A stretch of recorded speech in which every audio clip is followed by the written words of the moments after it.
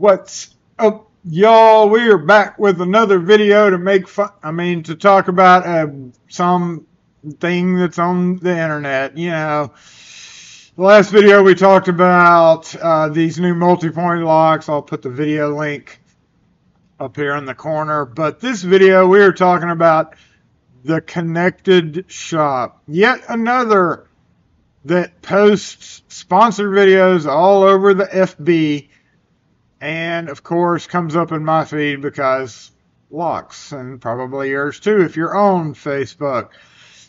And I might add that some of them, some of the advertisements are very, very interesting. Number one, I'm going to put the pictures up here that I've seen. Uh, they really, they, they really need to get a new door prep. They keep putting just different locks on this same door that's got an outline where they took a lock off. And, you know, just, just buy another, just get another door. This looks ridiculous. This, this is not a good advertisement in my opinion because it shows how kind of stupid it looks. Plus, you've got a doorknob over a, a handle set, so that means you'd have to press them down and turn, and it doesn't make any sense. Just buy a door to, to put your locks on and, and do your advertisements that way. It looks horrible with the outline of the old lock on it. So let's go ahead and take a look at the uh, the website for these guys. It is very interesting. It has a whole bunch of s- smart door locks. That these things have taken over the world with different versions. However, my my problem with this company posting these is they make it appear that you can just go put it on any commercial store glass door, commercial space, office space. If you click on office space, and the big thing nowadays is people wanting locks put on glass storefront doors.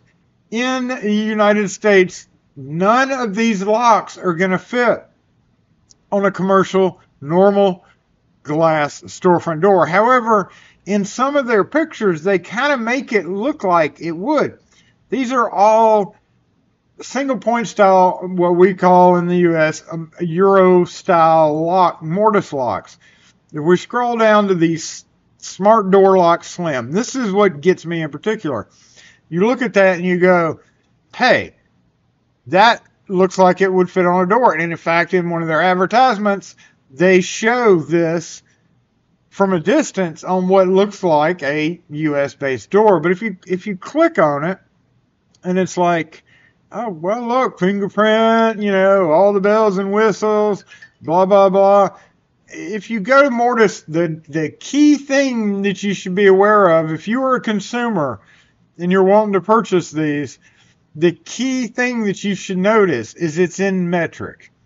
The United States does not use the metric system. So that should be your number one clue that really this isn't going to work for probably what you think it's going to work work for.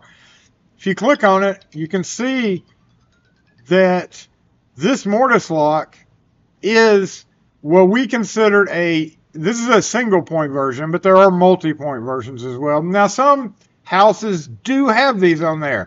So if it's if it's one of those situations where you have a lock like this on your house, to each his own. You may want to may want to think. I, I, I'm not going to recommend any of this what I call kind of crap. Uh, even though I have done reviews on certain other brands of smart locks before, uh, the way they go about this makes it appear that you can just go put this on any door. This style of lock is on a very small percentage of US based locks and absolutely not on commercial storefront doors like we see in the US.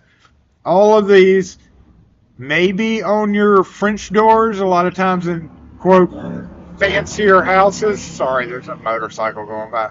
Sometimes in these fancier houses, you have single points like this, but it's never going to be on a glass storefront door. They have a bunch of different stuff. There's another one. There's one with a little knob. And, and you may think, hey, I'm going to order this and put it on my glass storefront door. That dang locksmith told me it would be like over two grand to do it. And this is only $300. It doesn't work like that. Same thing. You go to the mortise lock and none of them are going to fit. You know, sliding door, I, I've never seen the, I've seen one of these, I will say. These all use profile style locks. This is all European stuff, y'all. It is not something that you are going to find commonly in the U.S. So just be aware of that. When you see these posts come across, this is all overseas Chinese uh, locks that are very common overseas in Europe and presumably China, I would assume too. But they're not going to fit for your for your U.S. locks. Don't order these because they're not going to work. Uh, you know, they've got other stuff like these cameras and smart camera monitors and robots and smart wallets. Honestly, I, I just don't know. And here, locksmith, here we go. No, I, as a locksmith, am not going to put those on. They look dumb. If you want to order them and put them in yourself, or if you want to order them and even pay me to put them in, there's no way in hell that I'm going to guarantee anything. If it works, and I walk out that door, that's it. I'm not coming back to fix a broken lock when it's going to break in months, if that.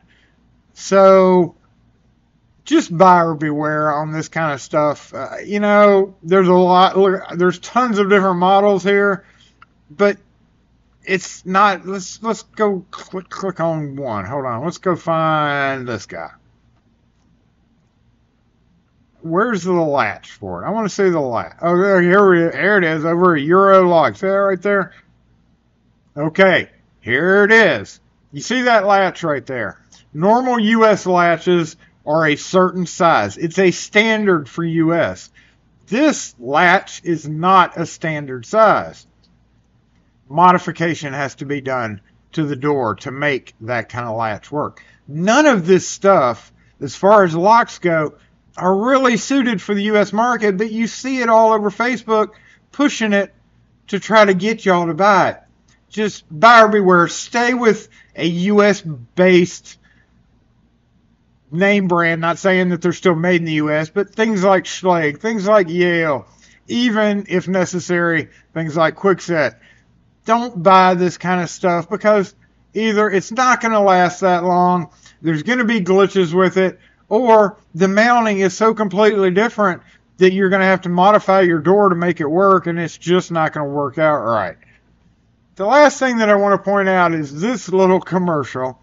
And I'm just going to we're just to we're just to look at this because Mom, I lost my key so I'm locked out. Where are you? I'm at work. How am I to get in the house? Don't worry, I got you. What just happened? I unlocked the door.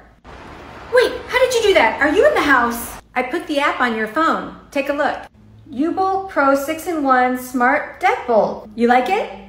Best overall in PC Magazine Ultraloq U-Bolt Pro. It has all the bells and whistles. Okay, so what's the combination? It's Alex's birthday.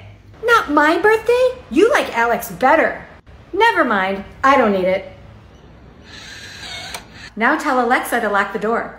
Lock the door. Locking. Hang on. The front door is locked. Where did you buy this? The link's in my TikTok and Instagram profile. Why? I'm putting one of these on my bedroom door to oh, keep All my sister out. I just can't even. I, some of the comments on Facebook are funny. I, I I'm trying not to ridicule, but but all, all I gotta say is that that it's just. I mean, how how hire an actor that is an actual actor. That's just so super cringe. Anyway, just buyer beware.